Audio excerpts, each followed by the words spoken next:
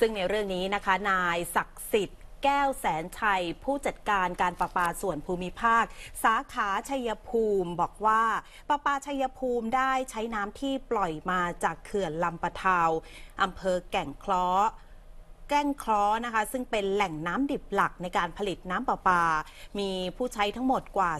25,000 ราย แต่จากปัญหาฝนทิ้งช่วงค่ะ ก็ทำให้เขื่อนลำปะเทาต้องลดการปล่อยน้ำลง จึงเหลือน้ำที่ใช้ผลิตประปาน้อยตามไปด้วย เบื้องต้นได้ขอน้ำดิบจากหนองตาดำในพื้นที่ตำบลบุ่งคล้า มาเพิ่มในการผลิตเพื่อบรรเทาปัญหาขาดแคลนน้ำคาดว่าจะผลิตน้ำประปาได้อีกประมาณ 20 วัน จึงขอให้ประชาชนผู้ใช้น้ำในตำบลพลนทอง บ้านเล่ารอบเมืองในเมือง กุดตุ้ม นาฝาย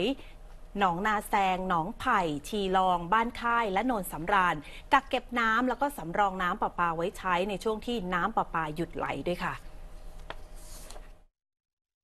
เขื่อนลำปะทาวล่างนะครับ ซึ่งมีความจุอยู่ที่ 16 ล้านลูกบาศก์เมตรนะครับ แต่ตอนนี้นี่ก็มีน้ำ ที่เหลืออยู่ในอ่างก็ประมาณ 4 ล้านนะครับ แต่น้ำใช้การได้ประมาณล้านหกซึ่งทางเขื่อนก็ระบายน้ำให้มาวันละประมาณ 80,000แต่ซึ่งด้วยความระยะทางมันค่อนข้างที่จะไกลนะครับ ก็มีผู้ใช้น้ำจากต้นทางมาถึงจุดสูบนี่ค่อนข้างที่จะมาก ไม่ว่าจะเป็นประปาหมู่บ้าน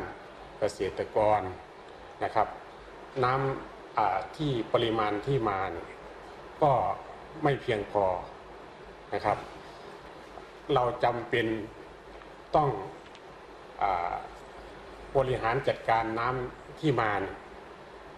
ให้ได้นานที่สุดนะครับ ให้ได้นานที่สุด เราก็จึงจำเป็นที่จะลดแรงดันลง คือจ่ายน้ำน้อยลง เท่าที่เขื่อนเสิร์ฟน้ำมาเนี่ยนะฮะ อ่าอ่าปริมาณน้ำที่ตอนนี้นี่ที่ระบายมาเนี่ยก็จะได้อยู่ 20 วัน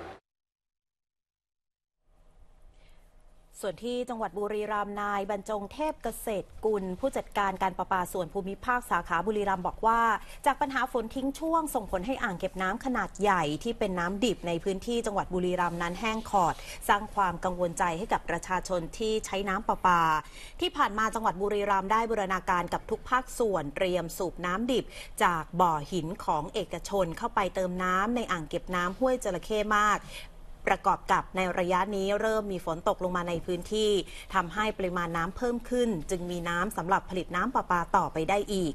นอกจากนี้ก็มีมาตรการนะคะเป็นการรองรับสถานการณ์ขาดแคลนน้ำเอาไว้ด้วยแล้ว ยกตัวอย่างค่ะอย่างเช่น การลดแรงดันน้ำแล้วก็การจ่ายน้ำในโซนพื้นที่ จัดเป็นโซนโซนๆเว้นแต่สถานพยาบาลและส่วนราชการที่ต้องมีการจ่ายน้ำอย่างต่อเนื่อง นอกจากนี้ก็ยังมีการเตรียมติดตั้ง mobile unit นะคะสำหรับผลิตน้ำประปาจากบ่อหินของภาคเอกชน ส่งน้ำเข้าระบบการจ่ายน้ำของประปาส่วนภูมิภาคด้วยค่ะ